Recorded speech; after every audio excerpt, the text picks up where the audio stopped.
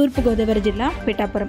విరవాడ రైతు భరోసా కేంద్రాన్ని వ్యవసాయ శాఖ జేడీఏ రామారావు సందర్శించి రైతు భరోసా కేంద్రాల్లో ధాన్యం కొనుగోలు వేగవంతం చేయాలని తెలిపారు. ఈ సందర్భంగా తేమ శాతం కొలిచే యంత్రం పనిచేసే విధానంపై అవగాహన కల్పించారు.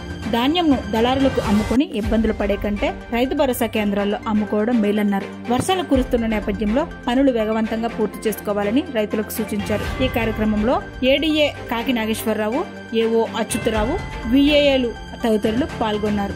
ఈ కార్యక్రమంలో డిఏ కాకి నాగేశ్వరరావు ఏఓ అచ్యుతరావు విఏఏలు తదితరులు పాల్గొన్నారు. జాయింట్ డైరెక్టర్గా పనిచేస్తున్నా. ముఖ్యంగా మనకి తూర్పుగోదావరి జిల్లాలో చూసుకున్నట్లయితే లక్ష డెబ్బై నాలుగు వేల హెక్టార్స్లో మన దాడవలో పంట సాగు జరుగుతోంది వరి పంట.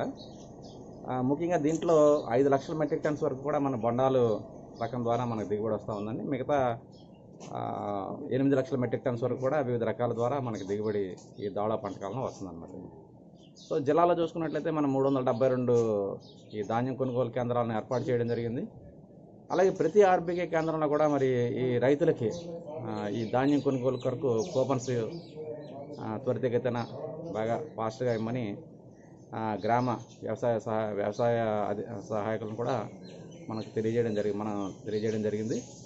సో ఈ నేను రైతులకు విజ్ఞప్తి చేసేది ఏంటంటే ప్రతి గ్రామంలో కూడా మన రైతు భరోసా కేంద్రానికి రైతులు వెళ్ళి అక్కడ ఉన్న విఏఎస్ అంటే గ్రామ వ్యవసాయ సహాయకులను కలుసుకుని మీరు ఈ కూపన్స్ తీసుకోండి. ఎవరు కూడా మరి తక్కువ ధరకు ఈ ధాన్యాన్ని అమ్మవలసిన అవసరం లేదు. మన మంత్రివర్యులు కూడా దీని మీద ప్రతిరోజు కూడా సమీక్ష చేయడం జరుగుతుంది సో దయచేసి మరి తక్కువ ధరలకు అమ్ముకుని మరి మోసపోద్దని కోరుకుంటూ ఈ ఎక్కడైనా ఏదైనా సమస్య ఉన్నట్లయితే మరి మనకి ఒక కంట్రోల్ రూమ్ కూడా ఏర్పాటు చేయడం జరిగింది. దాని యొక్క number triple eight double six one three six double one. మరి ఈ నెంబర్కి ఫోన్ చేసి మీకు ఏమైనా ఇబ్బందులు ఉన్నట్లయితే కంట్రోల్ రూమ్ ఫోన్ చేసినట్లయితే మరి అక్కడ అధికారులు స్పందించి మరి జాయింట్ కలెక్టర్ గారు అదే అలాగే సివిల్ సప్లై సంబంధించిన అధికారులు స్పందించి మీకు తగిన న్యాయం చేయడానికి మేము ముందుంటామని కోరు తెలియజేసుకుంటూ నమస్తే